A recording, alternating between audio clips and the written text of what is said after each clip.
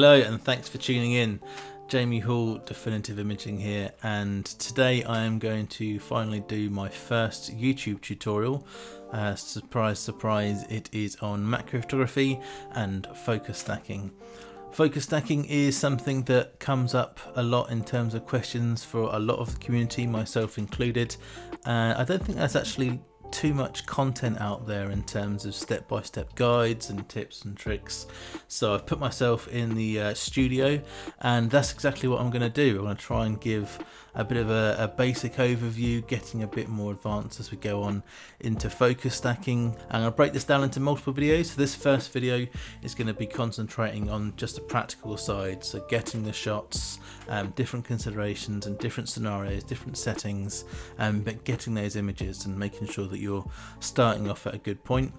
I'm then going to look at some processing in the second video, uh, different software that I use, different tips and tricks again for, for the initial stack, and then I'm hoping at the end to do like an advanced video which will cover some of the more specific in particular and nuanced photoshopping that I do that is quite specific for macro editing and the stacking in terms of the stuff that comes up um, and also want to look at things like comparing the DSLR to the mirrorless so I started off on my Canon 5D and now I do most of my macro on my OM system EM1X so talk about sort of the manual side and some of the more um, auto side and how this can help in some of those comparisons as well.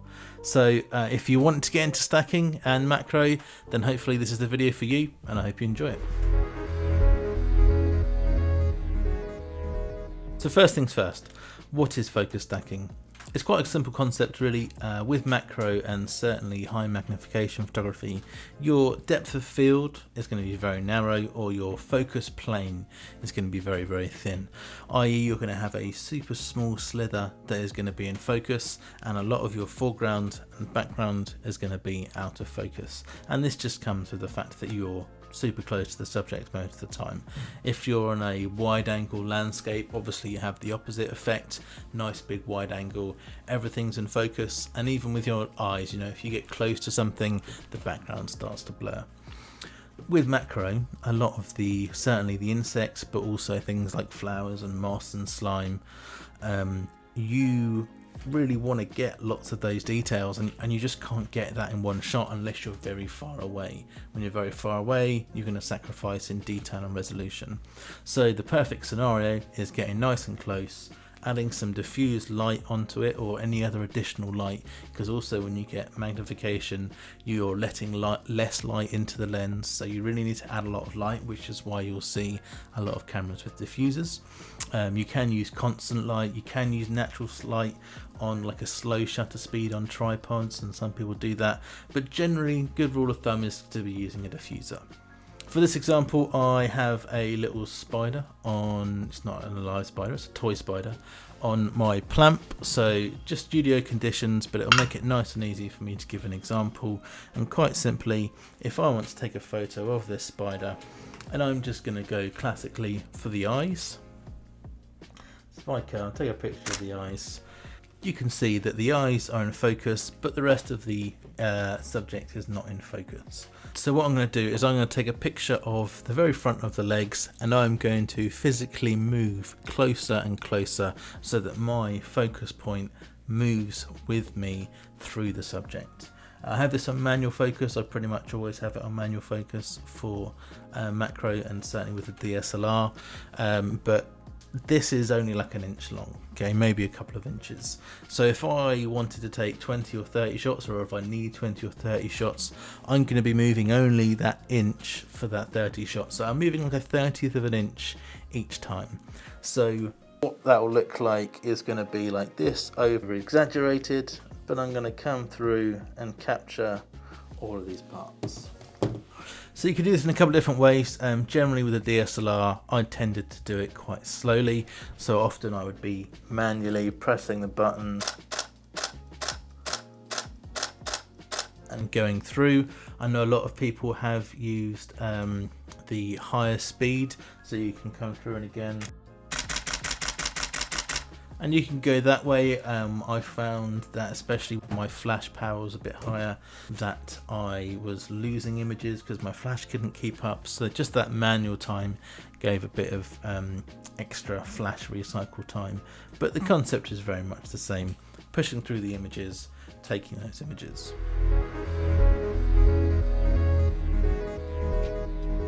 So, some important considerations. Uh, one of the most important things about trying to get that initial stack is being stable. If you have a subject that is on a bush or on a tree or on a leaf and there's little wind and you can anchor down, then you're going to be laughing. If you're going to struggle to find anything to lean on, say a spider and a web, um, and there's nothing to lean on, trying to stack midair and you know trying to stay perfectly still without anything to lean on is really really hard feat. I would say that i fail you know 80% if not more stacks of, of stuff if i'm not anchored or stable. So the first sort of main trick is to over egg it really over exaggerate if you have something like this uh, and I'm in the field, you know, if I have a stick or I've taken a leaf from a branch and, and I do have a plamp or a way to lay it down, before I had a plamp, I would just have the leaf and I would lay it on the ground and I would go prone. I would lay down absolutely prone so I've got my hands super steady on the ground, I've got my head super steady, like everything is just really, really stable. If I don't have the luxury of uh, laying on the ground because the subject won't allow or for whatever reason, then I'm looking for something else to lean on. Obviously, in this setting in the studio, I can lean on the desk, um, but I'm also looking for trees to lean on. So I'm, I'm often, if I'm shooting something on a tree, like I'm leaning against the tree, bodies on the tree, and like as much of me as possible is taking my weight, especially if I want to get multiple stacks. You know, this is a really cool subject. I don't just want to try and stack it once, I want to try different angles, I want to try from the top, from the front. I want to try a wider stack so I'm getting the whole body in. Maybe I want to get in really close and just get that portrait stack. Either way, if I'm really comfortable for one of those or really uncomfortable for one of those, it's just going to deteriorate. So it's fatiguing. Like when you're taking that many photos and you're tensing your whole body up, expect to be tired. Like it's going to be a bit of a workout um, not in the classic sense of the word, but you know, I'm I'm holding my breath a lot of the time and super tense. If it's a really like interesting subject, I am holding my breath and I am just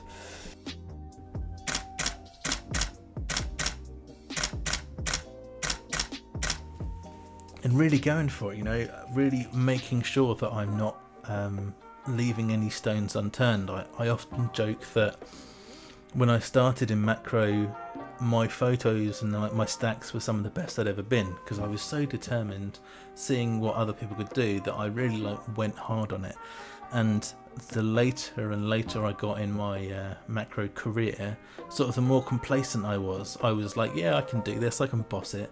And then I would get back and have really messy stacks and spend just countless hours trying to fix them.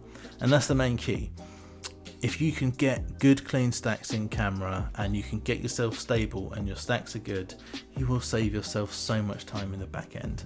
There is nothing worse than finding that subject you really want to find and then you have to spend hours and hours processing it or trying to get it right. And if you don't have that capability and that sort of Photoshop prowess um, or the right software, you're going to struggle even more. So, you know, you can spend an hour trying to do something and it still isn't good. And when you're taking 10, 20, 30 stacks in a session, if every single one of them is taking an hour to process, you know, there's just not enough time in the day. So, getting a stable stack is just like the bread and butter. Uh, you're not always going to be able to do that. Like I said, things on webs, things flying, things skittish, you're not always going to have the opportunity. But if you do, overdo it.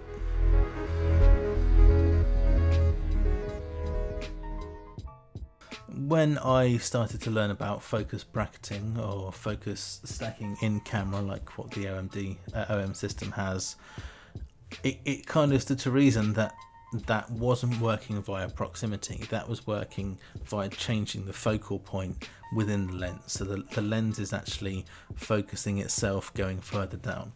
So I was curious, like I hadn't really done any focus ring stuff when I first started. I had asked a couple of questions, but I wanted to do some field tests for using the focus ring. And what that means is I'm going to be in the same position and I'm going to focus on the furthest point back and I'm just going to twist the ring as I take shots. Now, this is really finite. Um, the movement that I do with my fingers is super, super uh, subtle. And again, because uh, I'm having to physically move this, my grip on the camera becomes a bit more complicated. So I've got to find a way to have my fingers and on my finger and thumb being able to twist this but also a good enough grip on the camera and the lens so that I'm stable. This is complicated, this takes a little bit of practice but when it comes good um, you're going to be able to stay in that position and you're going to be able to twist this ring and feel nice and stable. What you get for this, for my money, is much more consistent and cleaner stacks. One of the main reasons is when you're pushing and using the push method, you're so much more susceptible to your camera twisting, to your camera tilting, and all this sorts of movement in your images when you come through to process them are going to cause different distortions and the sort of AI of the stacking software is going to struggle to compensate for it. So keeping the camera is as sort of squared on to the subject is hugely important. And with the focus ring methods, as, as I have said, it's so much easier to be stable. You are taking out all of this sort of twist most of the time, and you're just in one position and so you can see uh, it's it's a bit more comfortable. Um, it's a little easier to execute. And when I started using the focus ring method I found that my stacks lined up just so much easier. Like I almost didn't need to do anything in terms of that first blend uh, normally, when I was using a proximity, I'd always find there was a distortion, something had moved. I'd have to sort of paint different things in and out on the software, which we'll get to later. But generally, with that focus ring method, it was just a dream. And there are different uh, things that occur with the focus ring that, again, we'll go into later. But I would recommend trying to get comfortable with it. A lot of the sort of success in macro photography is versatility, right? So you want to be able to shoot things in flight because you're going nice and quick. You want to be able to shoot things that are moving quite a lot and following with them. You might be in situations where you can do the push method, where you can only do the focus ring method because moving is going to disturb. So giving yourself different tools for different subjects um, is just going to work uh, for you really well and pay dividends. So I would recommend getting comfortable with the focus ring method. Give it a little try out. Um, if you're already focus stacking and you're sort of a seasoned stacker uh, and not tried it, give it a try. Um, I think you'll be really surprised at how clean your stacks come out. And generally, just in terms of a workflow and the processing time, it saved me loads of time. So that focusing method ended up becoming my default. I used it a lot more than I did the push method. So another technique uh, that you'll see a lot of macro photographers using is sort of taking some of this tilt and spin out of the equation by trying to keep the subject and the camera in the same position.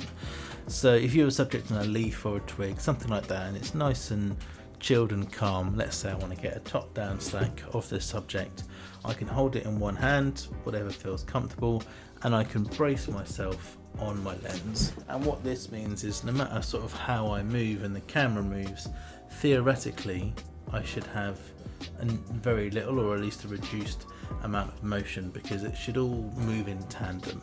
But I'm very often going to be doing this exact same thing. So coming in here and and again the, the only movement I'm really I'm essentially doing this either moving the, the my thumb close to the subject or the subject close to the camera however you want to name it but but that again will just negate a lot of the sort of different movements going on. It also means it's really easy to change your background. So I have this little back sheet up here, which I did show you. So if I take a picture on this pink sheet, you can see I've got a nice pink background, but then I can move and face into it where it's nice and green outside and I can get a green background. So I can change my backgrounds and go up to the sky, try and get some light coming through. So it's again just going to add uh, a lot of variance in terms of what I'm going to see and what I'm going to be able to do when I have that ability to move the subject around and change the background.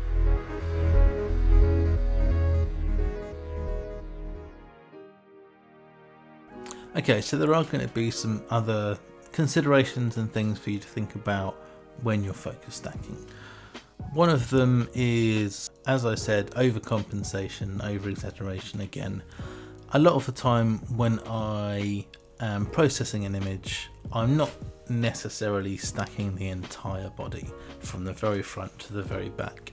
Sometimes it can look really good, uh, sometimes it suits the sort of scene very well, but often uh, it can sort of look 2D, quite flat the image. So you have to find a good composition. But what I'll often do is look to have a bit of focus fall off at the back section of the subject, just because it looks a bit more natural. What that means in terms of how I'm setting up my shots and focus stacking just because I'm going to make that decision later potentially doesn't mean that I generally shoot that way in camera. What I'm doing in camera is pretty much always shooting before and after the point of the subject. So what that means is rather than just going to that first point and starting there, I'm always going to start a couple of frames further back closer so everything is out of focus the reasons for this are, are quite simple, and especially when you get smaller. The smaller you get, the smaller the subject, the higher the magnification, the smaller the increments uh, that you're going to need to get that stack in terms of um, the movement. You may stack the same number of shots, but the the movement becomes more and more subtle. So if you go on that first little bit of the leg and you move you know, a millimeter, half a millimeter as you take the shot, you'll miss that first frame. Uh, and that's just absolutely terrible. And you know, I always recommend checking the back of the camera. Hey, so if you've taken 10, 20 images, I'm to go, I'm to zoom in, yeah, and I'm just to work through the image and make sure that I've got that all there. But it can be really easy, especially if you're doing multiple stacks, especially with something like the, the OM system camera, when I'm going tat tat tat tat tat, tat tat tat tat tat, come on this side, tat tat tat, it'd be really easy to just miss one frame of that. And if you've got sort of the best stack and the best frame or something really cool's happening and you just miss that first slither or that last slither, like it can really like just ruin a shot. It can again be painstaking in terms of trying to recover it. Maybe you have to get stuff off different frames, or it could just go in the bin. So um, always overcompensate. Start in front of the subject and finish at the end. Once I have, say, these 30 images and I take them into my laptop to do some processing, I don't have to stack all 30. I can just stack the first 20 and find that sweet spot where the focus fall off looks nice. And for a spider, for example, having that face in and everything front of the face looks really nice, and then often leaving the background or and the abdomen out of focus for that focus fall off. So I'll process both of them, 120, 130, and see what looks better maybe that 20 actually looks better at 19 and I'll take another frame off. But covering all the bases, making sure that you've got everything there, that consistency uh, will really give you a lot more freedom and help to cover up any mistakes when you're moving around.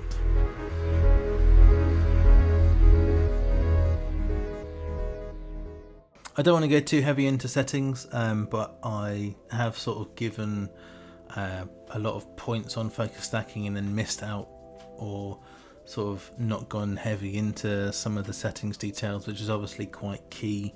Uh, I've told you what my go-to setup or settings is for my DSLR.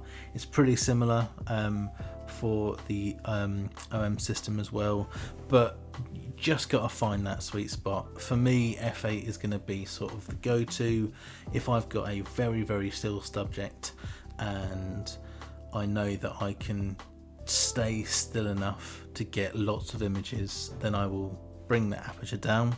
I've gone down as low as 3.5, um, but that's pretty challenging. Again, you'll get a really buttery background at 3.5, but you know, f5, f5.6 is pretty achievable for a medium sized subject that's very, very willing.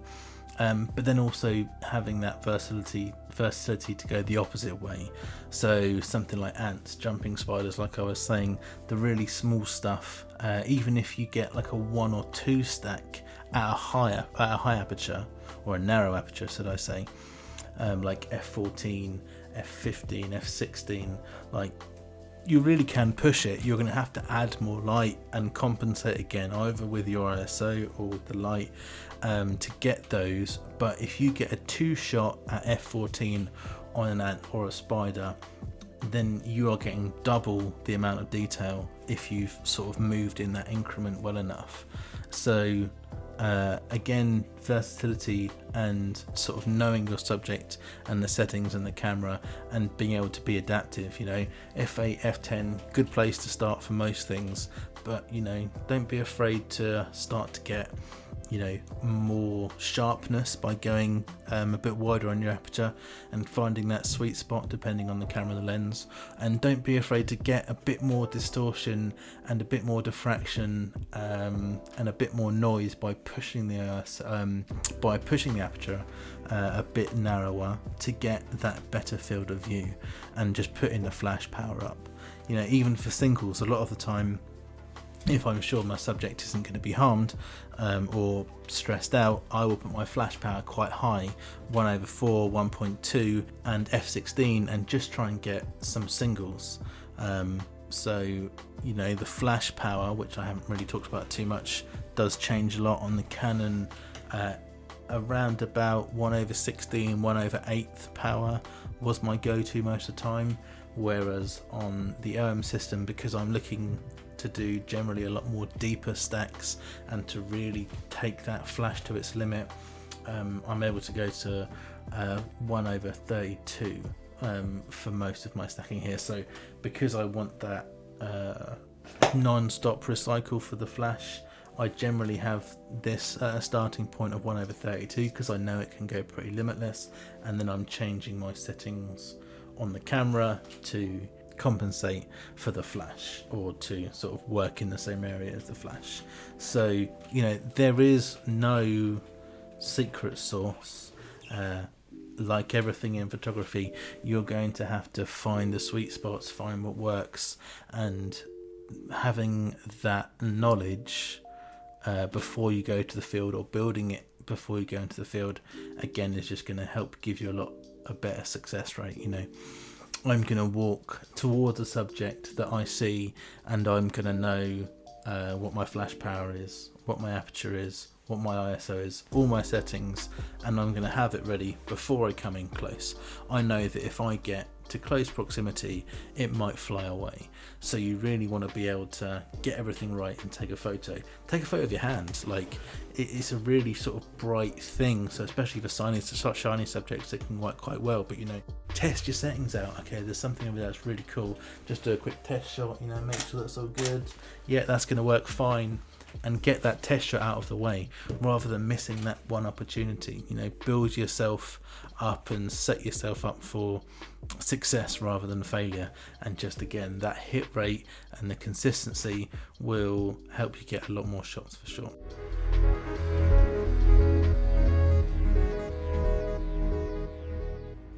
Okay, so we're going to move on now. Uh, I'm going to get rid of my DSLR and I'm going to pick up my Olympus or OM Systems, previously Olympus EM1X. Now, what the Olympus has is a rather cool bit of technology called bracketing or focus bracketing, and what this means is it is essentially using the focus ring method, but I don't have to use the focus ring manually, it will do it itself. So, quite simply, with a click of a button on the Olympus, if I choose the front of the legs, I press the button once, and it goes. I don't even have to do anything. Just that, just that one feature makes the world of difference. Again, in terms of what I was saying about stability, now I'm not having to push forward, so I'm not having to move, just having to stay perfectly still. In terms of the stacks, for my money, it's going to line up easier and better, because again, I'm not tilting and moving but also just the ease of not having to do anything. I'm not manually pressing the button, I'm not manually moving this, I'm not manually moving that. And the speed is quick, like so that was on sort of a slower setting. So if I go to the faster setting on this and again come in for the focus, press the button once, it's it's done it. It's it's done the whole thing super quickly, much quicker than my Canon 5D. So that's why uh, a lot of people are moving on to the OM system. Just the ability to be able to bracket gives you such a better hit rate and everything about macro for me is about success rates about hit rates uh, you, you often get so such a small amount of time to capture a subject you know whether it's a spider or a fly or an ant you know all of these things they're moving fast they're small they're skittish. Like you don't you don't always get the chance to be this close and super in nice and sometimes you do and that's absolutely great but sometimes you just don't. So having that ability to be able to go literally fresh on the scene all right subject first attempt right bang.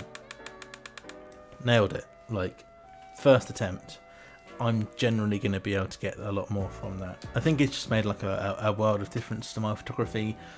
I do get less resolution when I look at the stacks that I did on this uh, 5D from like a year ago, and the resolution like they are like heavenly. Um, this is only a 30 megapixel um, sensor, whereas this is a 20. It's not a huge amount of difference, but you know when I've nailed like a 30-40 stack with that compared to this, there is a noticeable difference, and uh, I, I do miss that.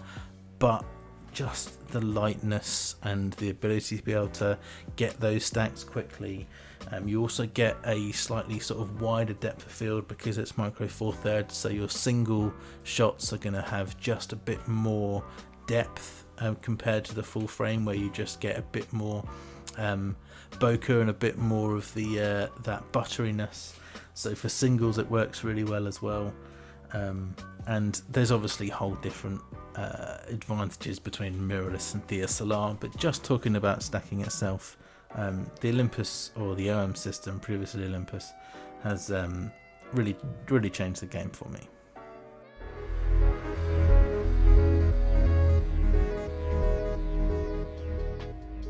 And do a bit more talking about some of the uh, OM system stuff. So this is going to be more likely for um, Mac photographers who are already a little bit deeper in their career, as it were, who are already sort of with OM because they want to do bracketing, not definitely, but there's a few different tips um, for this system, which again is going to help you with that success rate. Um, most importantly, uh, for me, the first thing I did with this camera when I picked it up was set up some custom modes. I can do this with the Canon, but it's a bit more of a manual process. So with this, what I want is I want to be able to, in the same way, approach my subject and just be able to click that button and know that I'm going to get what I want and to cover all the bases. So with the focus bracketing, the way that this works, you can manually set up uh, your intervals or differential uh, of the bracketing. So at point one, it's going to be the thinnest margin, and at 10, you're going to have sort of a big gap between the images. If you have it at point one, then you know something like you know this spider, for example. Let's say it takes 120 shots at point one, which is going to be a lot. If you're at point two, you're going to reduce that drastically, and it's going to take a lot less shots to do it. And then at point three, etc., etc. So again, it's about understanding your subject and what is going to be the best attack for that subject. If I am approaching something quite big, let's say a big fat grasshopper again, um, I'm going to go for my focus differential of 2 or 3 because I know that I don't need that absolute precision. I also don't need that highest number of shots. And uh, maybe I'll have it on a slower recycle time so that I don't have to worry about the flash cutting out. What I will often do when I find a subject that I like, so let's say I've found this spider, the first thing I'll do um, will be uh, not do any bracketing or any focus stacking and I will just walk up and I will take a reference shot. So I just want that single one uh, I found something that's cool I haven't seen it before. I'm just going to get a shot. I'm probably going to have a slightly higher aperture so that I'm getting a bit more detail. So my again my standard um, settings for the single is going to be probably around about f9 f10 and about 100 on my shutter speed. And I'm just to quickly get in a couple of singles nice and far away. Get a little bit closer. Cool. I got it. I got a shot. Something I can collect something that I can have in my library. It's just a reference shot. Some people are like really into reference shots. Some people don't really care. But I'm always going for a quick reference shot first.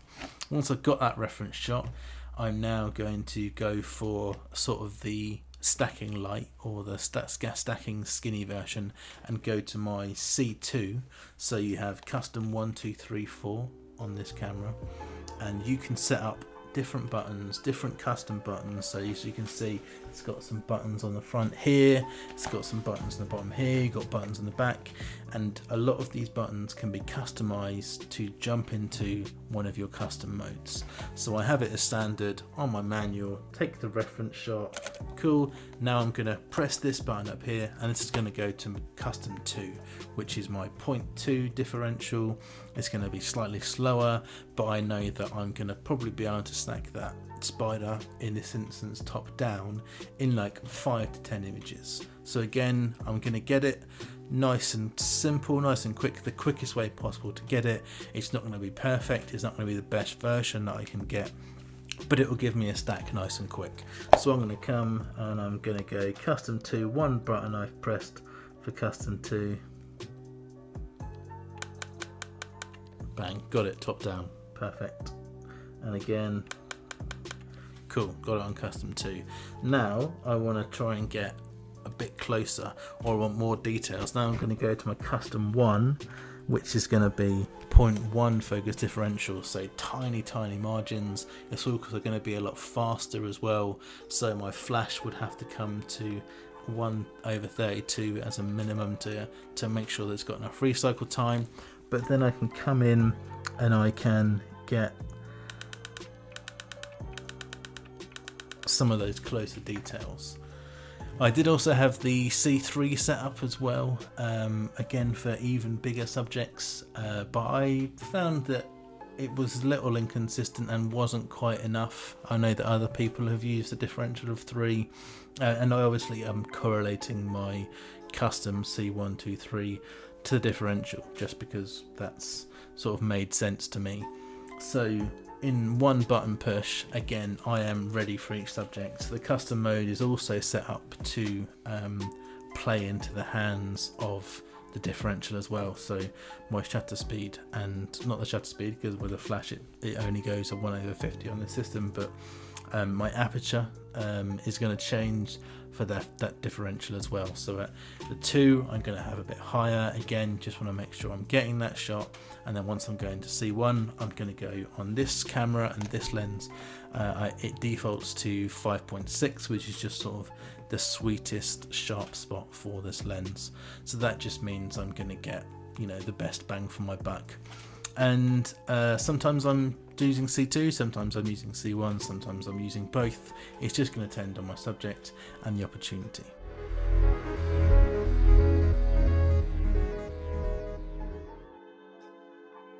Okay, so just some final thoughts. Uh, most importantly, practice. Practice is going to make perfect, like everything forever, always. Uh, practice on still subjects. Uh, autumn and winter, great time to find fungi and other cool things that are going to stay still. Find flowers, find tiny little like imperfections on leaves. Find something in your house that's like super weird, you know, uh, like peppercorn, something really small. Uh, rather than stressing yourself out trying to go straight for, you know, one of the hardest things like an ant to try and stack in the world, which you're just going to really struggle with, find easy things, transition into uh, easy invertebrates or insects to shoot. Spiders are a great idea, especially if they are on the wall and quite still, and if you don't have a phobia of them. One of the reasons why a lot of people shoot spiders is because they're really willing subjects. They're not freaked out very much. They generally stay still quite easily, um, and they're just really good subject to practice on. Um, anything that's not like flying away super easily or jumping out of the way, um, some grasshoppers, uh, things that are bigger in size uh, also are going to be um, sort of easier to stack because your margin for error is going to be smaller. Again, the smaller you go, the smaller the increments. If you've got something bigger, you're further away, you've got more depth of field, uh, and you can have just more margin for error there. So start on the easier things, get some practice in, and then you know start to challenge yourself on on something small like you know jumping spiders and if you're brave enough ants.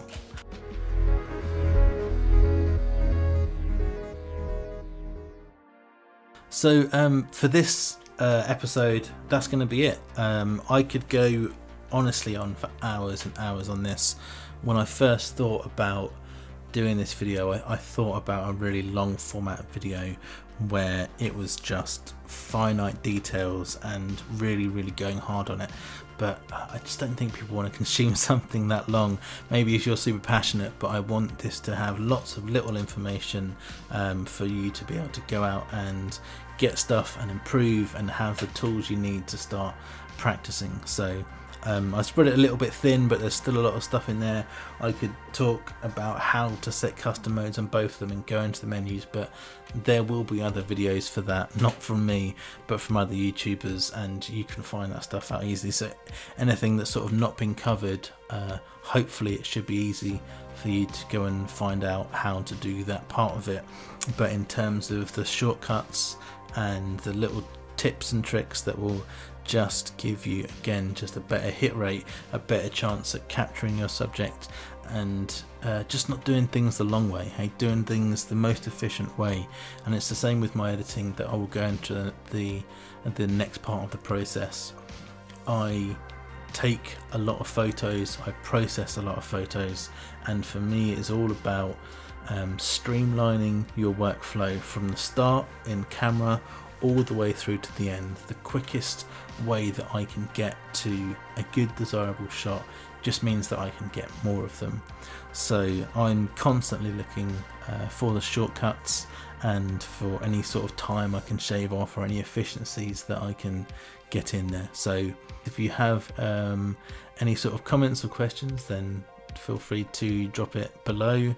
Uh, if you like this video and you're keen to see the next one, give it a like um, definitely subscribe. I've never actually asked for likes or subscriptions but everyone does it so i should probably be doing it. So please uh, subscribe share do whatever you want to do. And if this video has been helpful for you uh, please let me know. Thanks for listening to me rabbit on for this long and hopefully you'll tune in for the next video. Until next time cheers